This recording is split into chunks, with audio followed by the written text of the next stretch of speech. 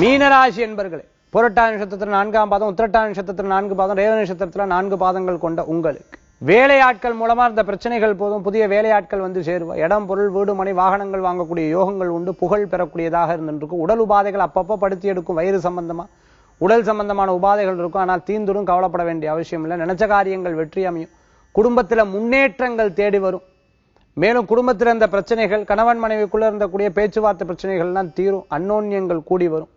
தெய்வாம்சத்தில் தெய்வான தெய்வானுகிரகத்துல பிரயாணங்கள் வெற்றி ஏறக்கூடியதாக இருக்கும் அரசியலில் இருக்கிறவாளுக்கு முன்னேற்றங்கள் இருக்கும் கடைத்துறை இருக்கிறவாளுக்கு புதிய வாய்ப்புகள் தேடி வரும். இடம் பொருள் வீடு மனை ரொம்ப நாளாக வாங்க முடியலாதுன்னு நினச்சிட்டு இருக்கிறவா வந்து சேரும். திடீர் பணவரவுகள் வந்து சேரும்.